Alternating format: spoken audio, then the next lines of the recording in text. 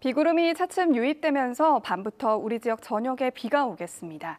이 비는 모레 오전까지 이어지겠는데요. 최대 100mm가량의 많은 양이 예상됩니다.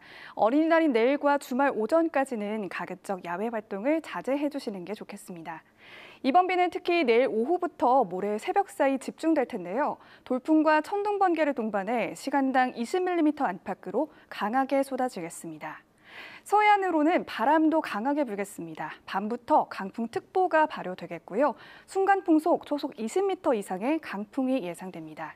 자세한 지역별 내일 날씨 보겠습니다. 대전 세종의 아침 기온 17도로 오늘과 비슷하게 출발하겠고요. 낮 최고 기온은 공주가 21도, 논산과 대전 22도로 오늘보다 6도 정도 내려가겠습니다.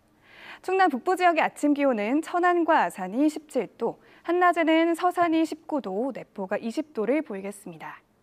충남 남부 지역의 아침 기온은 청양이 16도, 한낮 기온은 보령과 서천이 21도를 보이겠습니다.